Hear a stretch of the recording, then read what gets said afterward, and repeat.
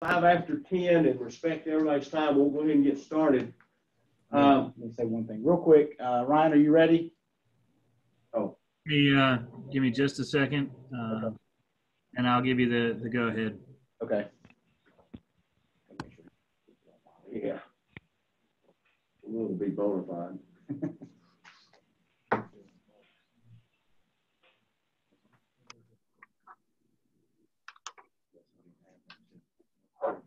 We have a resolution to add. Or, do we have a resolution? then? The first thing. The change in You guys are good to go. Section item. Yes, all right, after the minute, go after the minute. Yeah, yeah. Okay. Thanks, Ryan. Okay, once again, welcome to our uh, uh, TAC meeting of the High Point Metropolitan uh, Planning Organization. Uh, My name is Neil Grimes. I'm the, the chairman of the, of the organization, and I, along with uh, Greg Venable and uh, Mark and, and John, are here at High Point City Hall and enjoying the rest of you on uh, Facebook at home. My gosh, what a collection of books. and uh, uh, and I would ask. Uh, I, first off, I'm going to I'm going to start with the the comment about the ethics statement, and we'll get into a couple of administrative things. Can everybody hear me? Yes. Okay. All right. Um, in accordance with the state government's Ethics Act, it's the duty of every TAC member to avoid conflicts of interest. Does any TAC member have any known conflict of interest with respect to any matters coming before the TAC today? If so, please identify yourself and the conflict and refrain from any participation in the particular matter involved. Since I can't see everybody, if anybody has any problem, please uh, let us know. Mr. Chairman, Yes. this is Mike Fox. I would note on my, I was having trouble getting in under my regular invite, so uh, our new division engineer, Wright Archer, was kind enough to flip me his, and so I'm showing up as Wright also, but uh, uh, it's not Wright. He Wright has his own uh, video, so and I'll introduce Wright at an appropriate time later in the meeting. All right. All right. Thank you very much. I think your admin, whoever's running the meeting, can actually change my name uh, if they uh, if they know how to do that. But it's that's not important to me. I just wanted you to know I was here. Well, we'll either get your name changed or, or blip you off of it. So, um, we are uh, not only having a Zoom meeting this morning, but it's also being uh, streamed over Facebook. Uh, so we will, for the for the benefit of, of any folks that aren't familiar with our uh, organization and the way we conduct our meeting, I'm going to give a few little administrative things.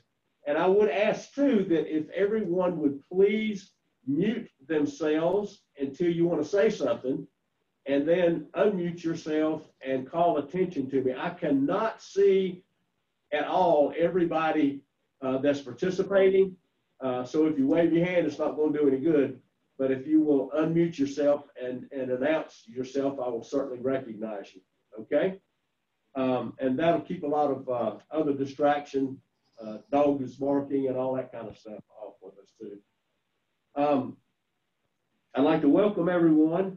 Uh, this committee is charged with reviewing and approving the plans and programs for the High Point Metropolitan Planning Organization. For specific plans that come before this committee, we also conduct public hearings as required by our public participation policy. Due to the COVID-19 pandemic and the resulting state restrictions on public gatherings, the committee is meeting remotely in accordance with state law.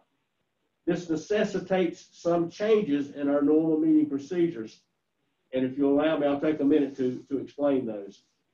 Um, I am one TAC member, and as I said, I am here at High Court City Hall, and we have, looks like maybe eight, eight uh, other TAC members uh, joining us remotely. That does qualify as a uh, um, quorum, so we will continue with the meeting. Um, items on the agenda will be heard, and I cover my nose, but if anybody knows how to wear glasses without fogging them up with these things on, let me know. Um, Items on the agenda will be heard as normal with uh, a member of the MPO staff presenting the summary of the agenda item, followed by the staff's recommendation. For those items on the agenda that require a public hearing, a public comment period for these items will extend for 24 hours beyond the conclusion of this morning's hearings. And today we have three public hearings. For that reason, I'm in. okay, for that reason, the TAC. Yeah, it's on the 18th, 818. will not be voting on any of this morning's hearings. Again, I'll ask everybody to please mute themselves until they need to uh, be recognized. For that reason, the TAC will not be voting on any public hearing item on the agenda. Instead, and mark this on your calendar, this meeting will be recessed, not adjourned.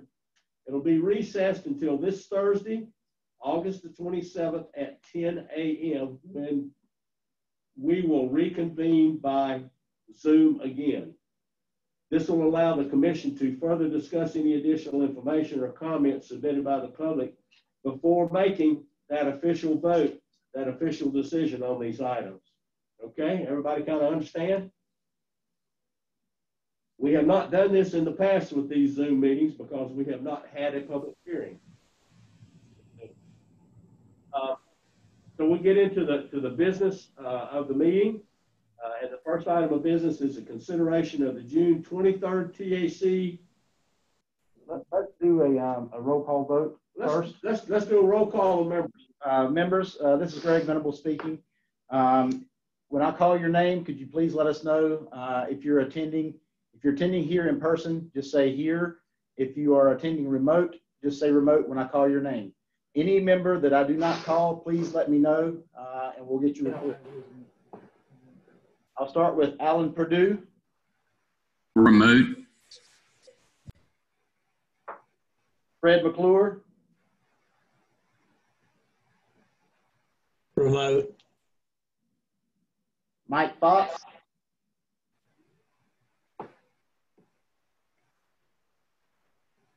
Mr. Fox, Yes, sorry, I was having trouble finding the unmute button. I'm here remotely. Thank you. Larry Warlick,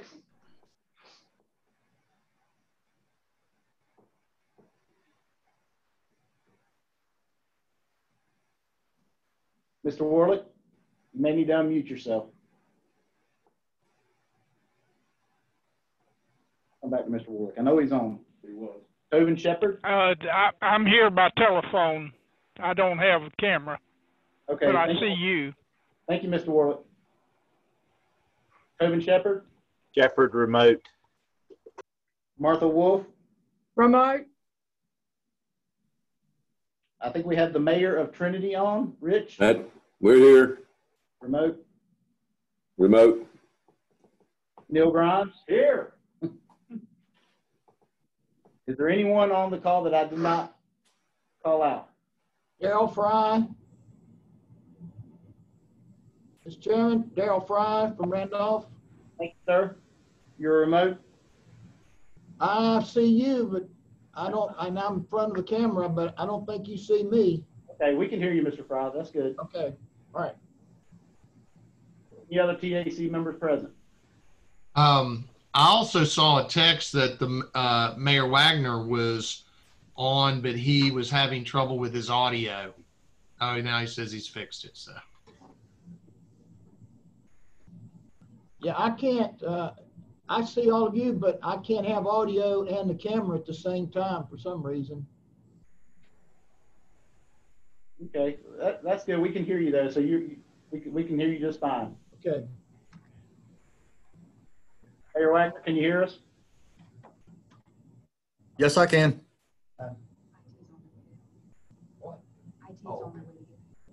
Any other TAC members?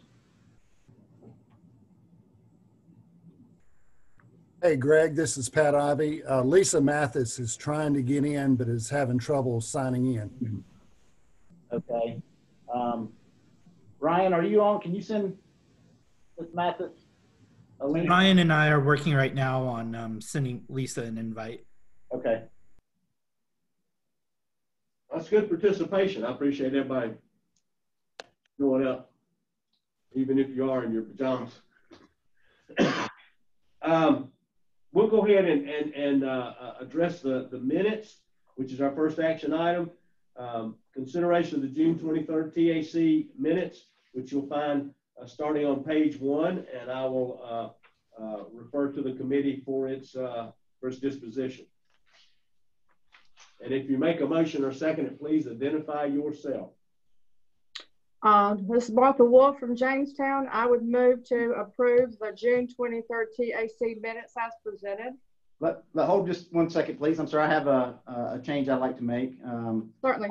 on page three, item three, that says consideration for approval for amendments to the HP MPO public participation policy. That should be to release that document for public review and comment. It was not approved at that meeting. So it was just to release that document for public review and comment. All right, everybody got that? Under Got it. consideration of approval for amendments to the MPO Public Participation Policy, PPP, it was, uh, last meeting, it was released for public comment rather than approved. Correct. You still make your motion, I would still, yeah, make that motion with that amendment. all right, thank you, Shepard, Lexington, remote, second. thank you. We have a, a motion and a second. Is there any further discussion? All right, now, those of you TAC members, we're gonna do a roll call vote. So, uh, Greg, as Greg calls, give your eyes or nods, but be sure to un- unmute yourself and then please remute. Okay? Neil Grimes, Yes. Aye.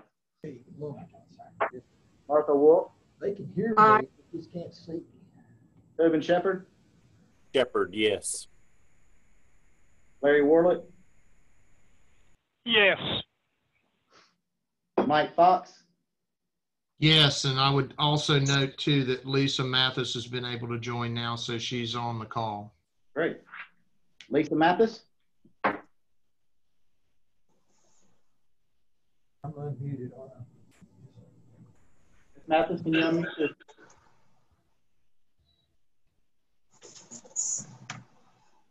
We'll come back to Miss Mathis. Uh, Fred McClure, Yes. Alan Perdue, Yes. Daryl Frye, Here, yes, Mayor Wagner, Yes. and Mayor Trinity. I'm here. That'd be a yes vote for the minutes.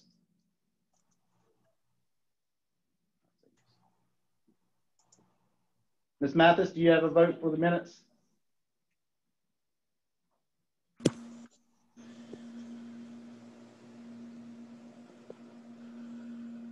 Okay, uh, the minutes have been approved by a vote of eleven to zero. Thank you. And procedurally, I should have asked, is there any, uh, amendment to the, or, uh, changes to the, uh, uh, agenda? And there is one, and I'll call on Greg for that. We have a, uh, an, an addition to, our meeting this morning. I would like to, um, discuss a little bit with you, uh, our, our division engineer from Division Seven, who is, uh, officially retired now, I think, uh, is, is the case. Mike Mills, are you on the call?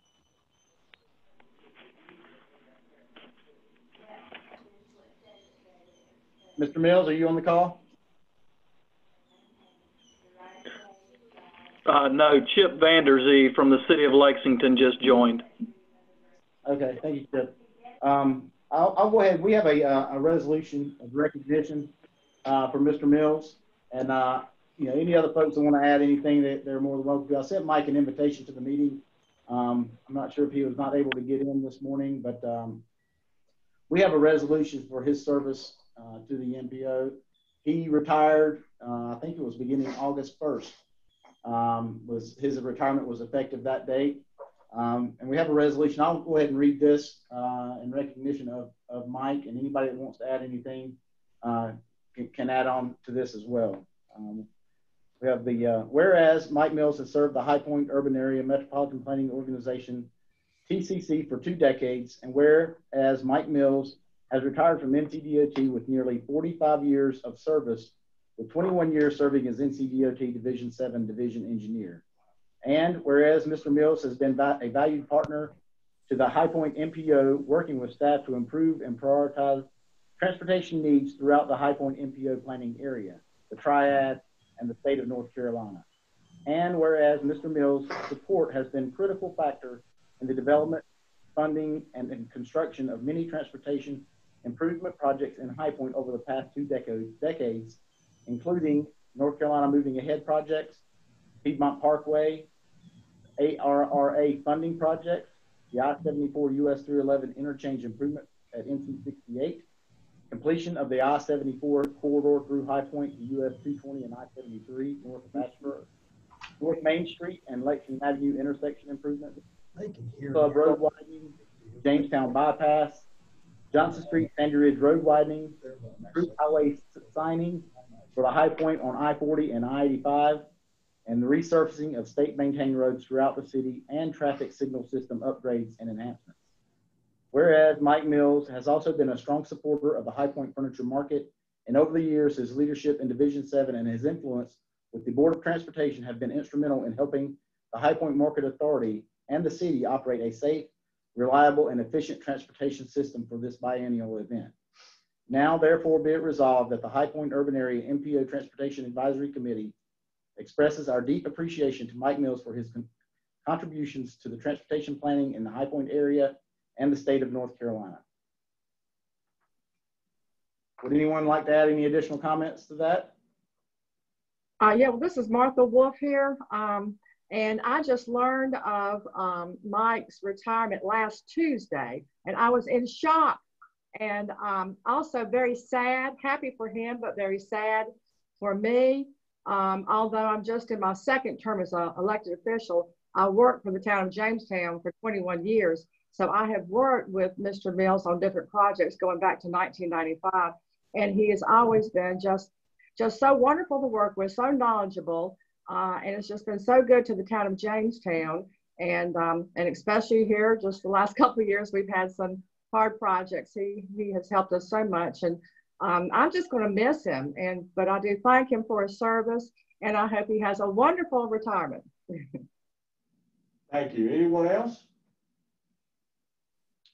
I'd like to, this is Mark McDonald, Transportation Director for the City of High Point. Just want to voice my personal and professional appreciation of Mike's uh, help uh, here in High Point over the years. We've worked together here for as long as I've been in High Point, 18 years now, and I knew Mike even before that. And uh, as uh, as has been said in the resolution, it, it, Mike's always been ex extremely uh, cooperative and easy to work with, and has made a big difference to to all of us here uh, on staff at High Point with the MPO and and for our citizens as well. And we're going to miss Mike, uh, but look forward to continuing that relationship with Division Seven through Mr. Archer, and look forward to to meeting him and and getting to know him. Thank you. Uh, Mr. Chairman, uh, Daryl Frye again. Um, you know, Randolph County is not in Mike's uh, district. Uh, we're in Division 8, but uh, since the Archdale Trinity community, especially is in the High Point MPO, I, I called on Mike a lot. And uh, much more than I did our Division 8 director because I, I, knew him and I saw him at all these meetings and um, he just been invaluable and uh, he was a he was a source of a dependable source and uh, could really get things done. I just wanted to pass my uh, compliments and thanks to him and and my best wishes. Thank you. Anyone else? Very good. Nice accolade. Yeah, I uh, I would like to add something. Obviously, uh, uh, Mike and I have worked together for for many years, and um, I agree with all the great things that have been said. Mike's truly been a great advocate for transportation in uh, this area, the entire area, even outside of Division Seven, and uh, has also been a great advocate for the region. Uh, Mike's been involved in probably every economic development project, you know, in the last uh, 20 years uh, that has come through as well. And I know as elected officials, y'all are often involved in those as well. And so, you know, how important it is sometimes to uh, get those over the finish line and sometimes uh, making sure people have good access to it is, is critical. And Mike's always been great about that. Uh, but uh, w- one thing that Mike has also always been, you know, so good about is just uh, interacting with average and ordinary citizens. Um, I know as uh, local elected officials, you all get calls like I do when someone's, uh, you know, has a question or or wants to know what's going on with a project or maybe is upset over the way we're handling a project and Mike has always been so professional and calm and has listened to folks and taken a great problem solving approach to try to help anyone to the extent that we can. And so I know all of us will miss that because he's just been such a good, uh, a good influence and he's always a good person to have in the room that can kind of lower the temperature a little bit when, uh, when folks are sometimes upset. So, uh, uh, while we will miss Mike, uh, we we certainly everyone would agree he he deserves the right to retire and to enjoy uh, some free time without uh, worrying about uh, things outside his family. Uh, Mike uh, Mike has actually got 44 years with NCDOT, and he has joked that people have told him he worked two careers, which I would say is probably about right.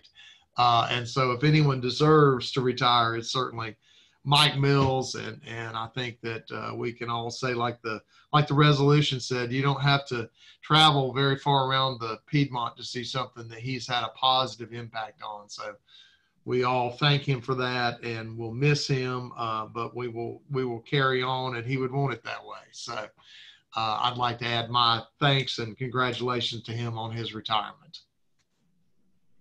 Very good. I just wish he could have joined us today. I absolutely. Maybe you can send him a link and he can watch it again on Facebook Live. There you go. We can do that. If there are no other uh, comments, uh, I will ask for the uh, disposition of this resolution by the uh, by the committee. I'd make a motion to approve. This is Mike Fox. Darrell Frye, I second the motion. All right, we have a motion and a second. Is any any further discussion? All right, thank you. If not, we will have our roll call vote. So uh, unmute, say something and remute. Greg? Mr. Neil Grimes? Yes. Aye. Martha Wolf? Uh, aye. Tobin Shepard? Shepard, yes. Larry Warlick? Yes. Mike Fox? Yes. Lisa Mathis? Yes. Fred McClure? Yes. Mayor of Trinity? Rich? Yes. Alan Perdue? Yes. Darrell Frye? Yes. Jay Wagner? Yes.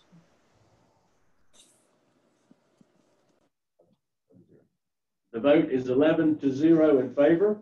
And thank you very much. And uh, my congratulations to uh, Mr. Mills also.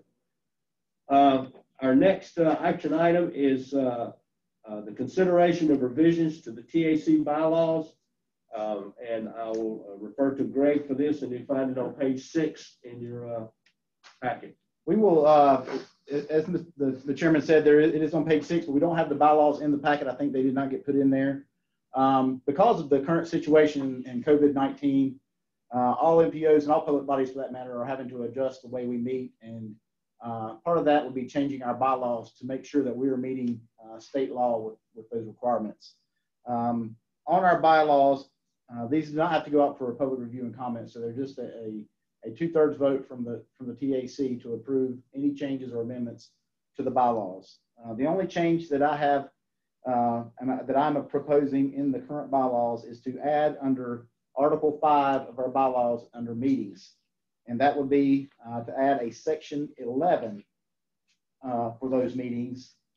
And it would be to um, basically what we're going through right now and how we're conducting this meeting. So if there is a declared emergency, um, the TAC will follow the guidelines established in North Carolina General Statute 166A 19-24, which basically is saying that we will conduct meetings remotely and we'll, we'll proceed with the roll call vote and holding meetings if there are public hearings uh, for 24 additional hours for people to uh, have a chance to make a comment. So that is the only change, and we're just doing that to uh, adhere to current state law. So really, the only thing that is changed is one sentence uh, making reference back to the state statute. Correct. And it basically, the state statute says you do things like we're trying to do today. So it's not a, it's not a huge, y'all can see, see that, see the, the, the highlight, that's the only thing that's changing on the, on the whole, what, eight or 10 pages of the bylaws. It's just reference to the state statute. And again, that's, this does not have to go out for public review, so there is no public hearing involved. It just takes a two-third uh, majority of the vote uh, to, to approve the amendment. And by saying that, if you want to table this until a further meeting so everybody can take a look at it, that's that's up to you. Or if you're comfortable enough with uh, just saying uh, yes to to that that references because the state statute may change, and that way we don't have to change this whole document every time the state statute changes. Mr. Chairman, Darrell Frye, move approval of the changes. Thank you, sir. We have a motion by Mr. Frye. Second by Perdue.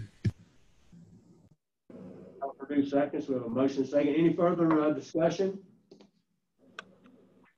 Fantastic. Uh, roll call vote, sir. Sure. Neil Grimes? Uh, yes. Martha Wolf? Aye. Tobin Shepard? Shepard, yes. Larry Warlick? yes. Mike Fox? Yes. Lisa Mathis? Yes. Fred McClure? Yes. Mayor Trinity? Yes. Alan Perdue? Yes. Darrell Frye? Yes. Bill Wagner?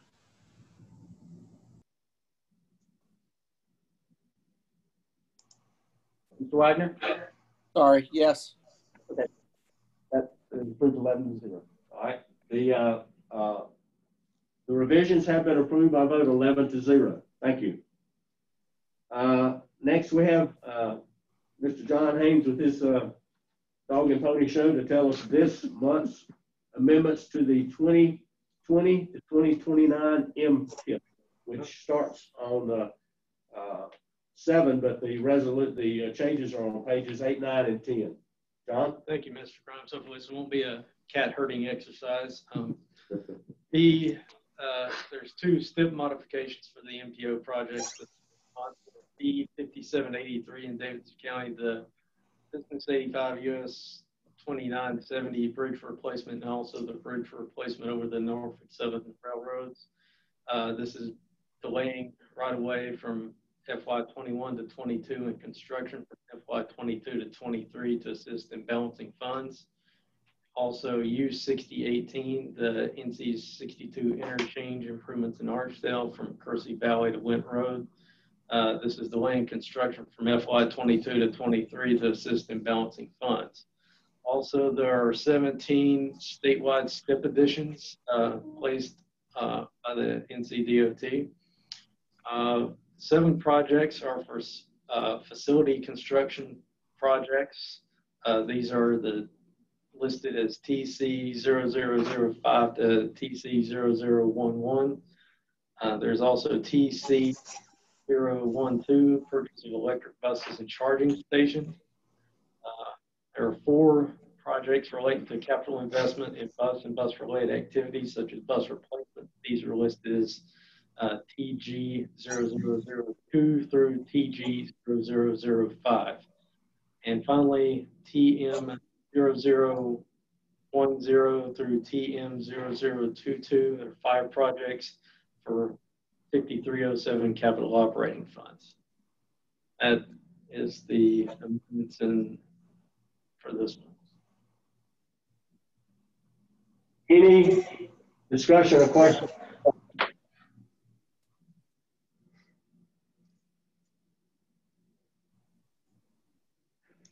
What's the pleasure?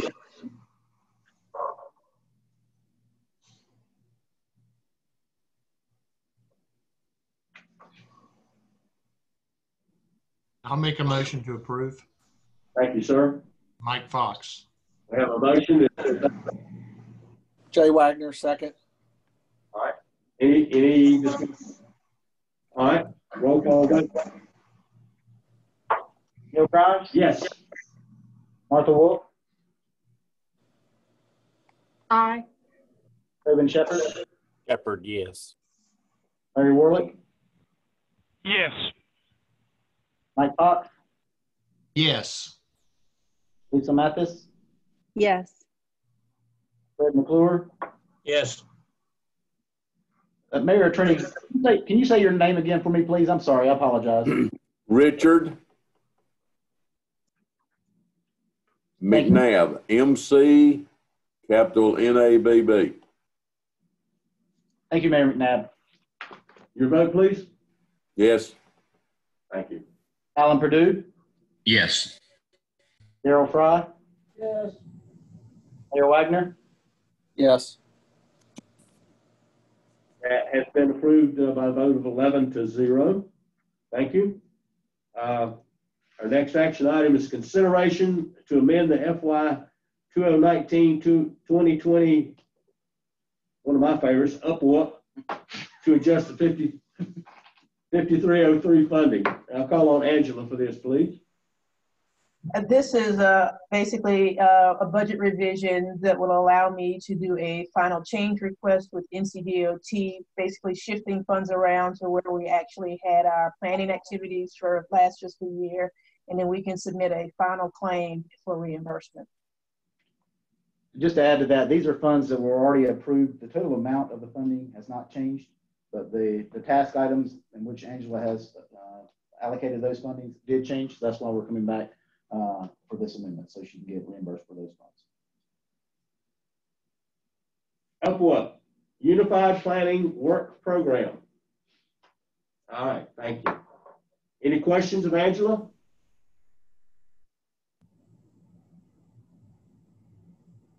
What is the uh, uh, consideration of the committee?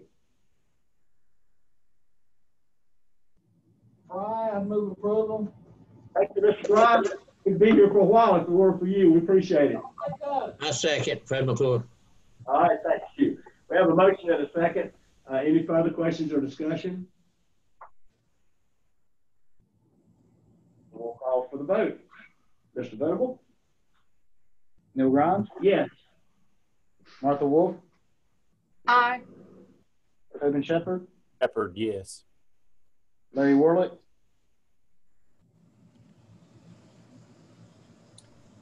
Larry Warlick,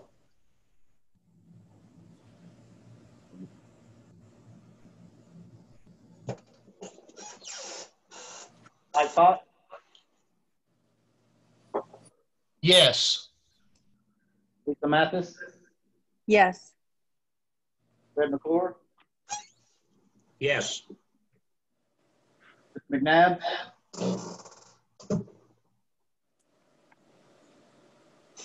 Mayor McNabb, Yes. Alan Perdue, Yes. Gerald Frye, Yes. Mayor Wagner, Yes. Warlick, Larry Warlick.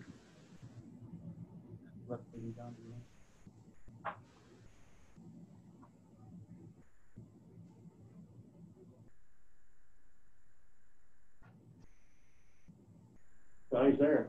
Mr. Warlick, can you hear us? You're gonna have to unmute your phone, I think, or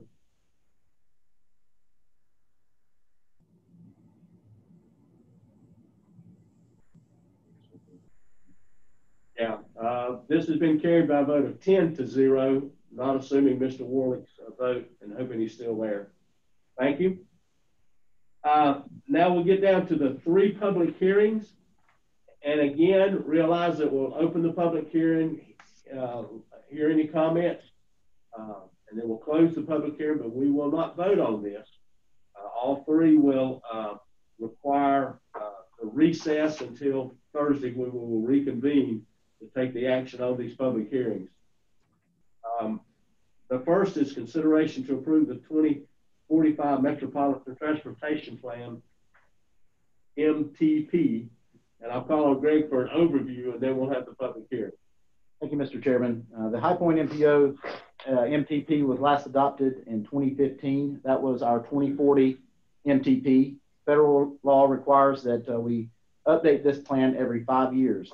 The plan is financially and fiscally constrained. We have horizon years. Uh, obviously, our, our overall horizon is 2045, but we have projects uh, that are to be completed in 20 by 2025, 2035, and 2045.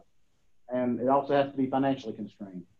Our, our new horizon year, as I mentioned, is 2045, and we work with our federal, state, and local partners to update uh, the plan. It was released for public view and comment on June 15th, and it lasted until uh, July 31st, which we have to make meet a minimum 30-day uh, public review and comment period. Uh, usually, when we when we hold these meetings, uh, we do public involvement. We can hold uh, in-person meetings, but because of COVID-19, we had some difficulty doing that. So we decided to hold an open house type meeting and, and have information available in the lobby here at City Hall. Um, that way people coming in, anybody that wanted to come by could come in and take a look at our maps. Uh, we could social distance if there was anybody who wanted to have any discussion uh, uh, in that regard. We had a, um, not many people, but we had a couple people sign in um, to, to review our plan and program we also uh, advertised everything on our social media uh, sites. Um, and we did receive uh, two comments uh, from one gentleman um, that was uh, fairly negative. Um, he was not happy with some of the, the funding and some of the projects that we had in the plan. He thought we were um, basically um, looking at the special interest of the developers and things like that instead of uh, looking at what was needed in the area. So uh, we responded to him, um, but we were glad for his comment. Uh, we also had comments from our TAC members. Uh, Brian Fulbright and Thomas Will gave us uh, a list of comments uh, and changes that we have incorporated. Also, uh, Suzette Morales, our new Federal Highway Administration official, gave some really good comments as well. So we've incorporated all those comments into the plan. We presented this to the TCC at the meeting last week, and they are recommending uh, approval of the 2045 MTP. Staff is request, requesting approval as well. Uh, the document has been out on our website. I hope you guys all have had a chance to go out and take a look at it. Um, and again, uh, we will take this item up again on the 22nd. All right. Um, I've got to open the phone. Okay. All right. If there are no uh, questions or comments, I hereby open a public hearing on this uh, matter and invite anybody that wishes to to speak. They can make comments. They can make comments on here. Oh, so we just we'll keep it open 24 hours. All right. They make written comments. They can hear us, but they can't make a comment live. That knock is good for 24 hours. All right. The second public hearing is a consideration to approve the Comprehensive Transportation Plan, CTP. And again, Greg, and your information is on page 14. Sure. Um, the CTP, this is the Comprehensive Transportation Plan as opposed to the Metropolitan Transportation Plan. Uh, the main difference between these two plans, uh, the MTP is, is federally mandated, so federal, federal law requires us to, to conduct the MTP every five years. The CTP is a state mandated plan. So basically, uh, whereas your MTP is fiscally and financially constrained, the CTP is not. So there is no horizon years, there's no time frame, there's no regard for amount of funding that's available. It's basically um, our wish list. And um, the way the CTP works, it, it, it, acts as a guiding document for our MTP. Um, so things that we put on our CTP uh, will eventually work its way through and get placed on our MTP uh, so that those those items can move forward uh, and, and, be funded by NCDOT. So this is kind of the, the first step, if you will, of a project. So if, you have, if your jurisdictions have a project they're interested in, kind of the first step would be to let us know. We put it on the CTP and then go from there. Um, basically, we had both the MTP and CTP out for public review at the same time. Uh, it was requested by NCDOT that those documents be approved together because they do uh, work work with each other. Uh, again, we we released the document on June 15th, uh, and then it was out for public review and comment until July 23rd. Again, um, we advertised, advertised the plan on our social media outlets. Um, we received uh, we didn't receive any public comments on our CTP, but we did again get some comments from the TCC. Um, obviously, we've been working on both of these plans for for quite a while. I think the uh, the, uh, the CTP we've been working on that for a couple of years. Um, if you guys recall, the last time we updated our CTP, and most of you were not around at this point, but some of you were, was in 2010. Um, and basically, that the, the current CTP, which we're under right now, is based off of our old boundary, which at the time did not include the rest of, of Davidson County and the and Lexington or Denton. So um, with this update, our boundary uh, will be our full boundary will be included, uh, and not only are there changes with our boundary, but there also were changes with NCDOT and the way the CTP is mapped. So um, the mapping is different. Um, there's some, some changes. We now have uh, for previous previously, if you guys recall, there was one map for the highway. It was a highway map. Now there are two maps. Um, it's broken out. Basically, you have your facility type map, and then whatever recommendations or recommended improvements you want to see. So that's just one of the changes. Again, these are available on our website. Uh, they were out for the, the minimum 30-day public review and comment period, uh, and I'll be glad to answer any questions. Um, and we'll take this item up again uh, in two days on the 27th. The TCC also recommended approval of this plan at their meeting last week. Questions? Lastly, consideration to approve the public participation policy, PPP. On 15, Greg, again? Sure.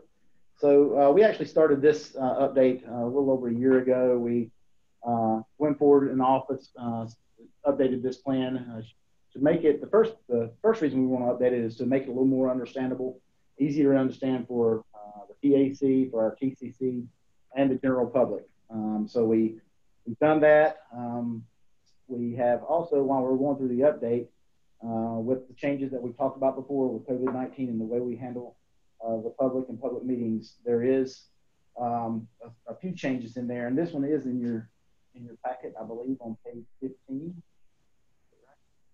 Um, and if you take a look in there, if you have your document available um, on page 15, I made, if you go to actually page 16, I'm sorry, the actual beginning of the plan, there are, uh, the third paragraph down is the new paragraph, which actually it references the North Carolina general statutes again um, when dealing with our meetings.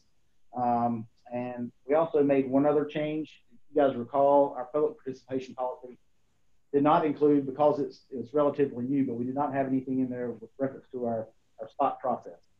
So um, on page 27 in the document, um, we did include, um, that's right, yes, item F on page 27 at the bottom there, strategic prioritization office of transportation and our, our methodology that we use uh, to rank our projects, which every time the spot process, each iteration, uh, we're in P6 now, we have to go through and get our methodology approved by NCDOT, and it also has to be uh, go through a public review and comment process. So uh, that is referenced in there as well.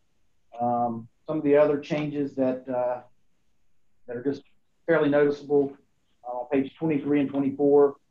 That table there is kind of just a, a, cheat sheet, if you will, which references all of our plans and programs and our requirements for our public participation for those those documents. So um, again, we had this out for public review and comment. It goes through uh, because it is public participation. It has to have a minimum 45 day public review and comment period. So we have done that. I think the comment period ended for this document uh, on the 18th, I believe.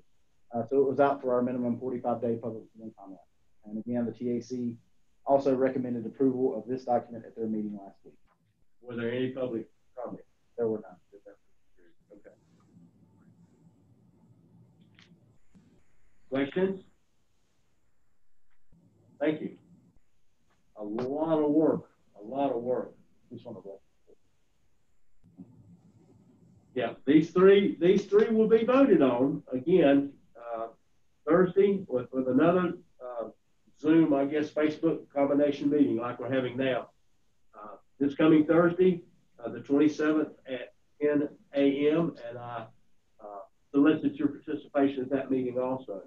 Thank At that meeting, we'll just add one other thing, Mr. Chairman. Yeah. Uh, at that meeting, if there are any public comments on any of these items, uh, we will send those out to you guys, so you'll have an opportunity to review those comments before you vote, uh, on the twenty-seventh. Uh, Neil, this is Larry Warlick. I, my computer quit on me a minute ago, but I got you back now. Well, glad to have you. We're not going to repeat anything you missed. Um, just show up Thursday at 10 o'clock again. Um, all right, our next item uh, for information is uh, Air Quality Conformity Memorandum of Agreement, MOA. Sure. Greg, starting on page 35. Yeah, this is, uh, in your packet, I believe. We put that in there, did we not, John? Yeah. Um, this was basically brought to us by the North Carolina Division of Air Quality. As some of you recall, recall we um, used to be in non-attainment for air quality in this area. Uh, that changed a few years ago. We are now in, in attainment, and we don't have to meet air quality standards as far as um, with our MTPs and our uh, MTIP and, and, and, plans and things like that. Um, but the Division of Air Quality is going through, and there are several MPOs in the state uh, that have to do conformity. And so basically what this agreement uh, spells out is what to do and, and the requirements for the MPOs and for the states um, when it comes to air quality conformity. Um, this will not kick in for us unless we go back into non-attainment, which is possible at some point in the future. But the uh, North Carolina Division of Air Quality wanted to get this out and get this approved by all MPOs, whether they're in, in attainment or not. So they'll have it available if in the fact uh, that we do go into non-attainment in the future. So um, right now, it really doesn't have a lot to do with us, um, but they wanted to get this approval uh, in place uh, if it was necessary. This is just an information item right now. Take a look at it, read over it.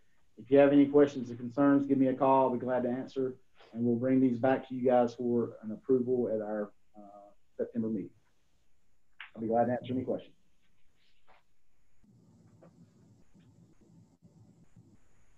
All right, thank you very much. Um, we'll go now to our um, agency reports. Uh, Mr. Fox, words of wisdom from Raleigh. you might, whatever wisdom I have is coming from uh, uh, North Greensboro today.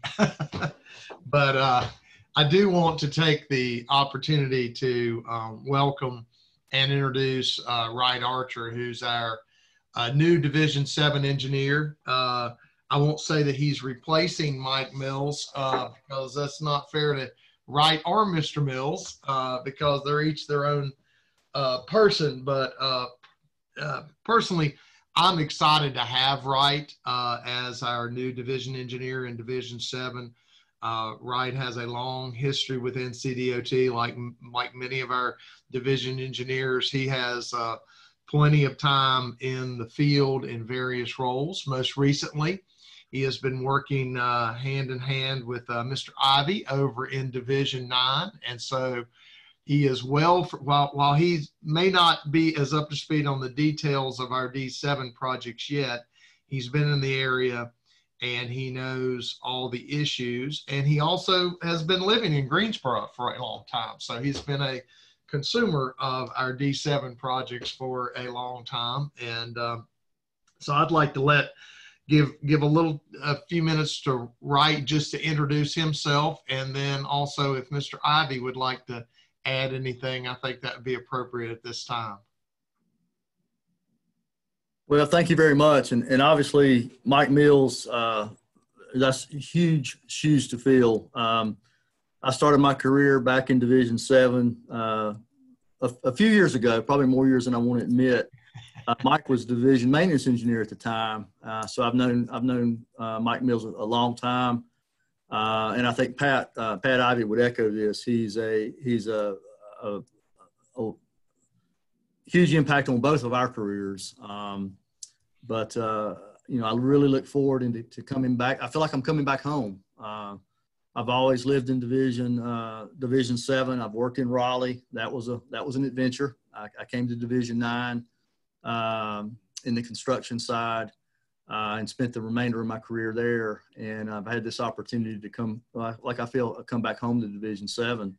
Um, you know, I really look forward into uh, to meeting everyone. I know with the COVID uh, regulations and guidelines, uh, a lot of face-to-face meetings uh, won't be happening for a while but uh, I'm I'm very um, I'm very hands-on. I think uh, you'll you'll find uh, Mike Mills and, and my persona and, and the way we try to handle things will be very similar. Uh, I like to meet the public. I like to find out what's what's that what what are the needs. You know, what are we hearing um, from our from our folks out there. Um, and uh, I, I, can assure you the the transition will be seamless. It'll take me a little while to get up to speed on the on, on some of the projects, the particular of the projects.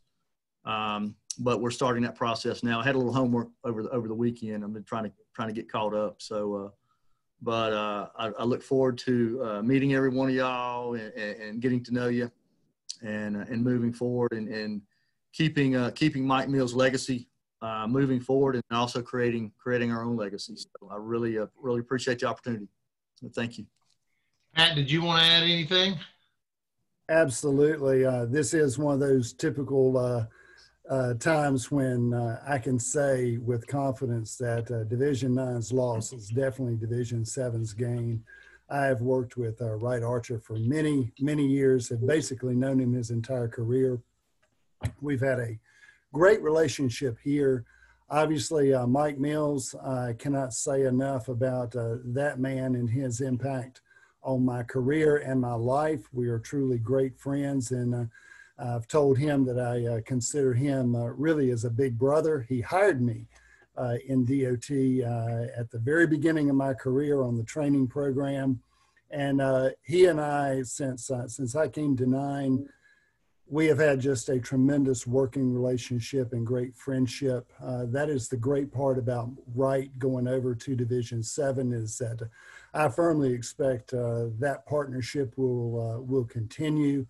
Wright is a great guy, great family man, and of course he is uh, from, as Mike Mike said, from the uh, Greensboro area.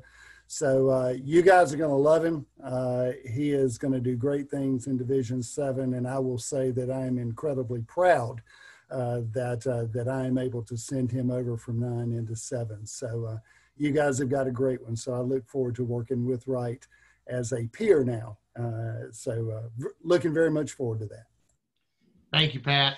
Um, so I'll give an update on kind of the big picture uh, at NCDOT. A couple things uh, that have happened, as you all know, our board uh, was restructured in the recent legislation, House Bill 77. and we also had some financial changes as a result of that. I'll I'll address the board first because it's a little more straightforward and simple to understand. Previously, uh, our board was 19 members, all appointed by the governor, with 14 uh, across the state geographically spread out, one per highway division.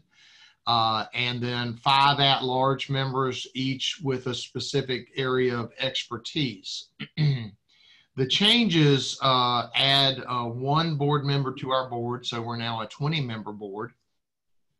But they change who appoints the members. The governor will continue to appoint the 14 division members uh, across the state, but the other six members, uh, the at large members, are now appointed by the legislature, and uh, three are appointed by the Senate, and three are appointed by the House. Uh, the governor has appointed uh, all 14 of his board members, and most of the vast majority of those board members that were reappointed were uh, carryovers from the previous board, including Mr. Perkins, Ms. Mathis, and myself, and I will remain the chairperson of the board. Uh, and Mr. Perkins is the vice chairman of the board. So uh, you got all the power right here in uh, in the triad. So we're gonna we're gonna live that up while while it's happening. But um, all joking aside, uh, I'm glad to have both Lisa and Andy back, and I know you know them well, and, and they, they are good board members and, and good representatives of their community. So I'm glad to have them back. we also add another member from the triad. Previously, we did not have any at-large members from the triad, but one of the Senate, Senate appointees is a person that I think most of y'all you know know well because of his long public service. Uh, Senator Jerry Tillman has been added to our board, and um, as you know, he's had a long history in in the legislature and recently retired, and so after that retirement, uh, the Senate appointed him to fill one of our at-large seats. So uh, I, I, one of the assignments I'll be making uh, is um, asking Mr. Tillman to come and join us on in our High Point MPO board uh, to participate. So I need to talk to, uh, I guess, the chairman to make sure that our rules allow that in terms of the at-large. But I think he would be a good representative on our High Point MPO board.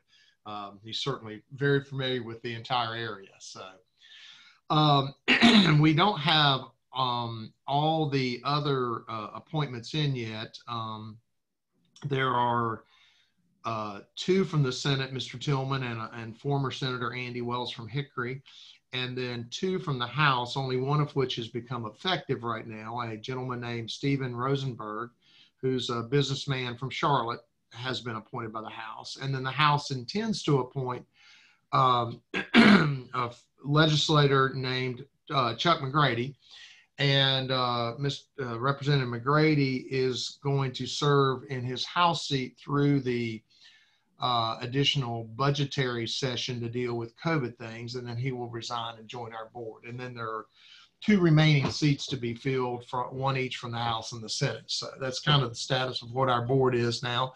We had our first meeting uh, of the new board uh, this month in August, and everything went well and I'm excited about, you know, all our returning board members and our new board members that everyone will pitch in to do what they can for the state of North Carolina in transportation. So the, the other part of House Bill 77 that was uh, really important was the money part of it.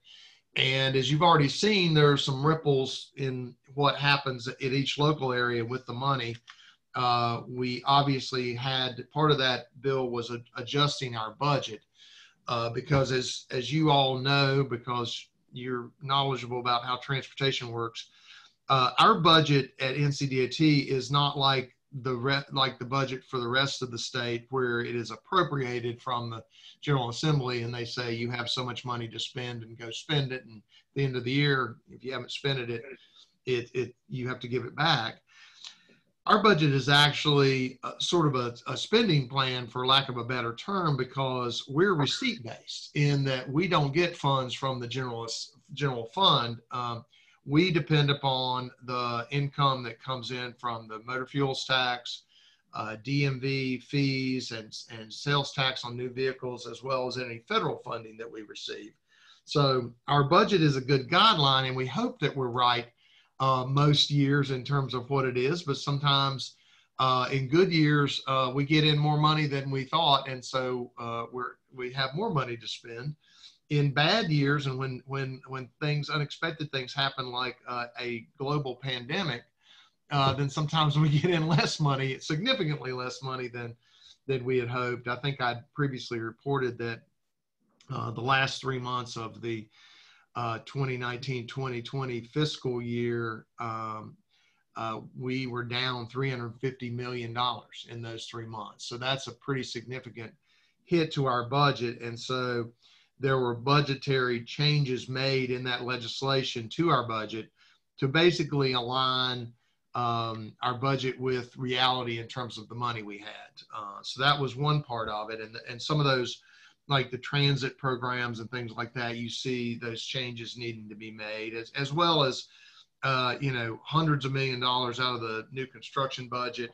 Uh, the one change in the budget, which we all thought was a good change, was uh, to try to beef up the maintenance funds because that is an area in which it has really been hit hard the last few years by the storms. Uh, not only on the coast but statewide. We've had an unprecedented number of of uh, large rain events that have caused culverts and roads to wash out all over the state, uh, snow events, and then of course everyone knows about the the the very expensive and large hurricanes we've had over the past couple of years. And really, when what typically happens when we have a federally declared disaster, then we're eligible for reimbursement for most of the funds that we spend, but we don't get it back right away. Um, and in many in many cases, it is several years before we get that money back. And so our choices are we could either put up a sign and say road closed and wait for the federal government to uh, to approve us repairing that in three and four years, or we could go ahead and and and repair it and get our roads and bridges and, and other infrastructure back to where our citizens can use them and then wait on the federal government to reimburse us. And so that's what we always do. And the nature of these storms has caused a huge drain on our maintenance budget because that's really where that money has to come from. So as part of this budgetary shift, we've tried to beef up that maintenance program, uh, largely to not to increase it so much as to get it back to where if we have a huge storm this fall, we have the ability to respond because that's critical. We've got to be able to take care of our citizens. So that's one of the other budgetary changes. The other changes are, are positive and they're on the, the revenue side in that we were, um, we got some flexibility in some of the limits that we had had on previously existing bonding authority on some of the GARVEE uh, bond programs. And, and for those of you who are new to how we fund things, GARVEE bonding is essentially a a chance to borrow and bond against future federal revenues. We've been doing that as have most all states for 25 plus years. It's a great program, and we got a little more flexibility in order to be able to to Im- improve that and and and do a little more of that. Um, as you know, also we uh, in the past uh, two years in 2018, the legislature overwhelmingly passed and the governor signed um, the Build NC bond program, which was essentially a state version of the federal GARVEE program. It allowed us to borrow against our future state funds in order to make in, you know, capital improvements on state highways. Because one of the limitations of the GARVEE program is you could really only use it on major U.S. routes or interstates. And we obviously have a lot of North Carolina routes that, that need some work as well. So the Build NC program uh, was really good for that. We were, uh, it's a, the Build NC program uh, is a multi-year program and we generally have about $300 million worth of bonds uh, that we can sell a year uh, for a 10-year program capped at $3 billion. We were ready to sell that $300 million worth of bonds uh, the, earlier this spring, uh, and COVID hit, which kind of caused the world to grind to a halt. So we were not able to sell those bonds. And the way the legislation authorizing the, the bond sales was written, we would have basically forfeited that $300 million. And as you all know, we, we can use that $300 million. And so part of this legislation allowed us to carry that over as well as um, uh, sell an additional hundred millions of dollars, hundred million dollars of bonds early. So for a to- for for this next year, uh, we'll be able to sell seven hundred million dollars worth of Build NC bonds, and we are in the process currently of doing that. Uh, we're working with uh, the Council of State and the Treasurer's Office and the uh, Office of Budget, uh, State Office of Budget and Management uh, in order to you know have all the paperwork right to be able to do that. We hope that we'll have approval from the Council of State in October and then begin to sell those bonds this year. Um, and that will be able to have uh, have a dramatically positive impact on what we're able to do project wise. So uh, that's the you know that's the the, the legislative news. Um, coming out of that, you also you know know that you know we've had the the reduction in the um, in the maintenance fund for the uh, storms. We've also had the MAP Act cases, which uh, to date, and this number is probably old, but uh, the last time I checked, it was seven hundred million dollars, uh, and that's a that's a big number to come out of your budget. So we've had to scale back our uh, construction program in terms of delaying the, the lettings of some projects. Uh, we were able, I think, successfully to keep most, if not all, of our current construction projects going. Uh, and that was a big feat. Uh, if you drive around uh, the triad, you'll you still see a lot of construction projects underway, and we were proud of being able to do that. But we were we did have to put on pause some new projects going out. We're hopeful that the bond sales will will improve that. But all that leads up to uh, we we need to do an adjustment to the 10 year plan basically because our finances are dramatically different than than what they looked like when we last adopted it. And we have a requirement from uh, the federal government, from federal highways, that our 10 year plan be what they call fiscally constrained, which I would translate that, that to mean uh, have a reality based on to it, in that you're not just having a plan that uh, you probably never be able to do, but it's in some way based on your revenue and such. So we're going to be going through that process. Um, uh, our central staff has already worked with our divisions and our division engineers to identify how that would impact projects in each in each area. And the next step is uh, they, they'll be reaching out to the different MPOs and RPOs to talk about what that looks like. Um, you know, it's it's like most things in life. There's some good news, some bad news, and some neutral news. There are in any given uh, area, and I've looked at the whole statewide list. Uh, there are projects that are that are going to be able to proceed on schedule.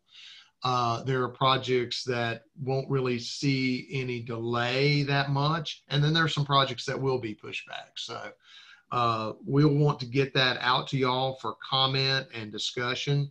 And certainly, if there's something about a project that we're unaware of in terms of uh, the issues with it or or the prioritization of it or such, that's what we want to hear back from from the MPO and the staff um, before we then uh, ask y'all to approve a modification, which then ultimately our board will do. So that's a lot of information. Uh, sorry to be so long-winded. I'll be happy to answer questions, and also I'll ask Lisa Mathis if she wanted to add anything. I think I know she's on the call. I don't think Andy was able to join us, but I'll ask Lisa if she wants to add anything. Hi everyone. It's nice to nice to sort of see everybody's faces. Um, I just wanted to add that yeah, we've had um, a really interesting month. Uh, in one week, we had a hurricane, flooding, tornadoes, and an earthquake, which is pretty exciting. So, um, as we know, that affects the DOT um, in great ways for sure. And I actually heard we might have a meteor coming, but you know, we're going to get to that in November. So, um, I we did have a pretty wonderful um, Mobi Awards uh, ceremony, uh, which you know talks about our, our multimodal and it sort of celebrates those um, feats. If you have a chance to watch that, because it wasn't, we weren't able to do it live. The um, they made a wonderful, wonderful video that sort of celebrates um, our winners, but it also I found it very inspirational. So I think you know if you can if you can watch that, I think that um, it might serve to um, to give you some creative ideas for other projects down the road. But um, anyway, I'm happy to be reappointed and it's nice to see everyone. I think Mike covered everything really well and um, here we go. Can't wait for COVID to be over. All right, thank you very much. Any questions for either of those fine folks? Uh, yeah, Martha Wolf here from Jamestown for Mike Fox. I was just curious on the MAP Act. Do you have any estimate of how many cases uh, are still out there or how long that may go on to before it's settled? Uh, yes and no. we obviously know how many cases are still pending, and I don't have that number in front of me right now. It is, we've obviously settled in the hundreds, and there are hundreds that are still out there. Uh, I will say that we have um, we had to make a priority of settling those cases that had the potential to stop projects, uh, and a lot of those were uh, on the existing loop projects, and Pat can, you know, attest to that. There were some, there were some cases that if we didn't resolve those, he, he was going to have to send the bulldozers home, and we don't Right. like to do that. Um, Right. but um, I'll get that information for you. Um, there, there is. This is where it gets a little complicated, uh, as any of the lawyers on the phone might know. There is the possibility that people may file additional cases, um, you know, to try to reach back and and uh, say I should have gotten paid this, even though I settled my case years ago. Um, and so we're kind of waiting to see what happens with that. I don't know how much of that will be involved, but we do have some feeling for uh, the number of cases left because obviously we know where we need to build a road and we know what properties are impacted and we feel comfortable that the vast majority of those have filed the claims that they're supposed to claim. We're hopeful to wrap this up in in the next 12 months or so. Okay. All right. Well, thank you. Uh, just one more thing. I would like to um, welcome Wright Archer and Town of Jamestown certainly looks forward to actually meeting you and working with you. Thank you very much. All right, thank you again, and congratulations to Mr. Fox, Mr. Perkins, Ms. Mathis, and hopefully soon Mr. Tillman. We appreciate, uh, congratulations on your reappointments, and uh, we very much appreciate your participation on this board. You add a whole lot to it. Uh, and uh, welcome, uh, Wright, and you're on. Let's hear about Division Seven. Since I'm, I'm new to the division, I'm gonna I'm gonna turn this over to Stephen Robinson to, to help me out this morning. Good morning, everybody. Good morning, everybody. This is Stephen. Can you hear me all right? Yes. Okay. Um, on page 66, uh, on the Division 7 project starting, um, there's very little changes on the yellow bordered sheets. You go to the second page of that, the only adjustment that we've had since our last meeting was um, the first one on the second page with the yellow banner, U6018, which is the interchange improvements at NC 62 and I 85 um, with the realignment of the intersections of Kersey Valley Road and Weant Road. That has been delayed by six months. So the let date has been changed to December of 2022 from June of 2022. And the completion date has changed from fiscal year 2024 to fiscal year 2025. Um, aside from that, and then the um, updated construction projects with their percentages complete, um, and what is included in the packet, I do not have anything else to add, but we'll uh, we'll open it up for questions if there's anything I can help with. Questions for, the, uh, our comments for Division Seven?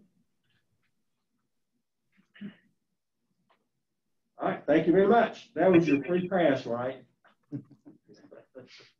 All right, um, Brian, you comment on Division Eight? Good morning. We also have Kathy with us here from Division 8. And we are on page 71 with the green banner. And most of these project schedules have been affected by the recent STIP reprogramming, but I'll let the uh, MPO discuss that uh, when they're ready. I could go over more if, if needed, but if you have any questions, be glad to answer them.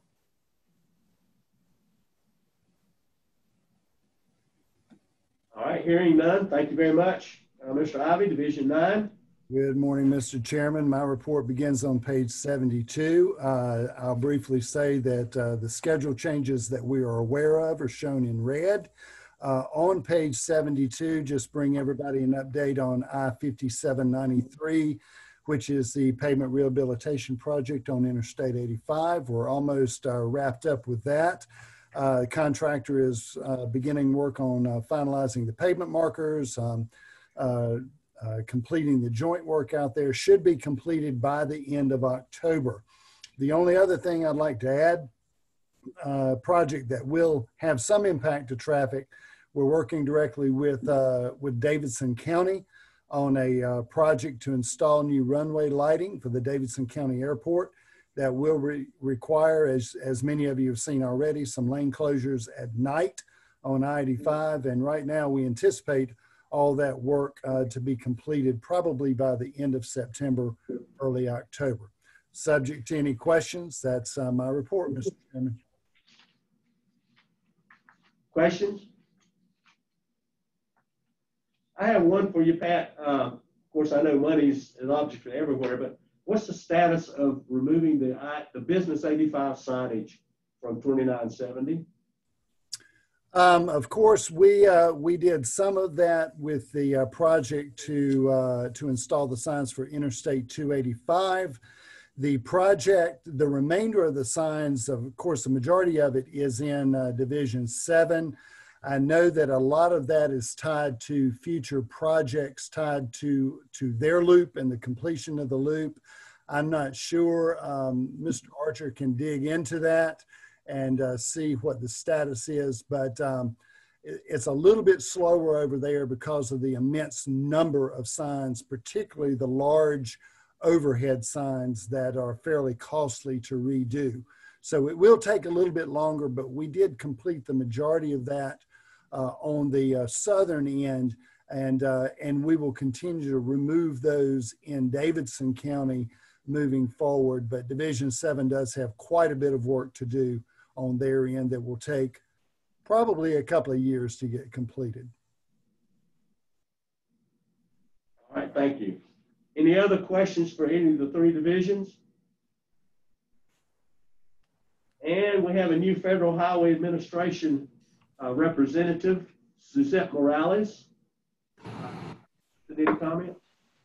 Hi, everyone. Um, there are no FHW um, updates at this time like that report. Um, uh, DOT Transportation Planning Branch, Michael, I think you're on. Yeah, good morning, everyone. Michael Abuya. Um, my report is on pages 77 and 78. In addition to that, I don't have anything else. Thank you. Any questions for, for Michael? And now our regional, our local transportation folks, uh, Tran, Angela. No report. Everything Mark. Okay, and Mark has nothing to add. Uh, Davidson County Transportation. Hi, Richard Jones here. Yeah, I have nothing to uh, add today. Okay, thank you. Thanks for coming. Uh, RCATS.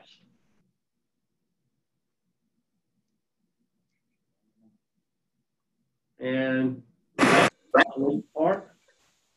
Yes, sir. Good morning. Scott Ryan here. Just wanted to, uh, your uh, information is in your packets. Uh, a couple items just to share to the MPO as well as some upcoming activities with PART is uh, we have some of our rural routes that have not been reestablished as part of COVID-19, but that's coming up in September.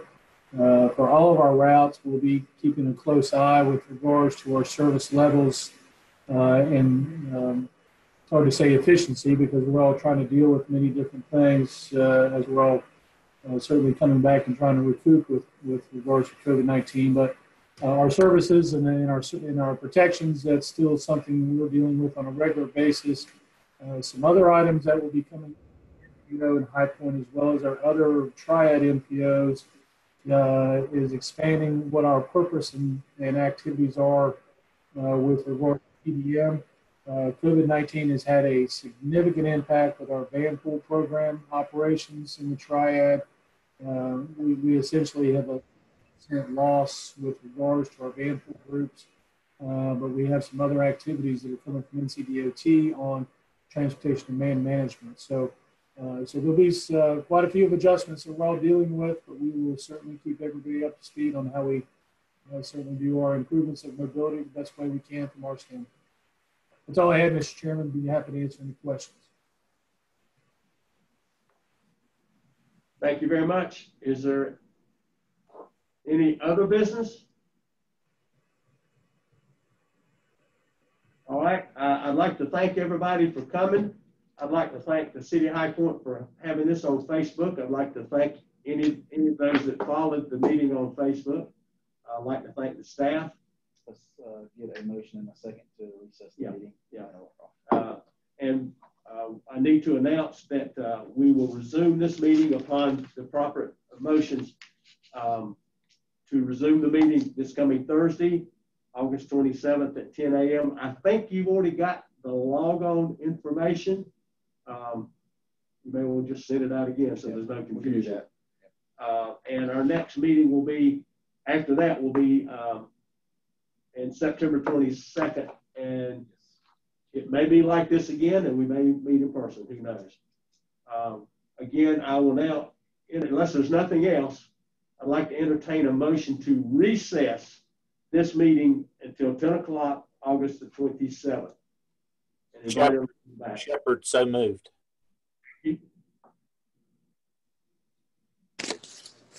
Mathis seconded. All right, have a motion and a second. You want a roll call or just anybody say no? Roll call. All right, roll call. Here. Neil Grimes, Yes. Arthur Wolf, Aye. Tobin Shepard. Shepherd, yes. Larry Warlick,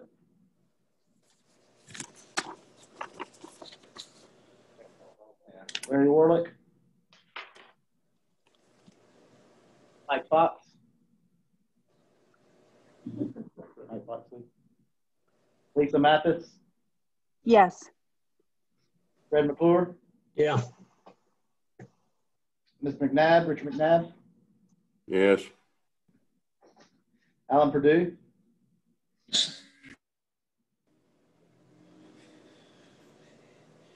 Cheryl Frye, Mayor Wagner, Yes.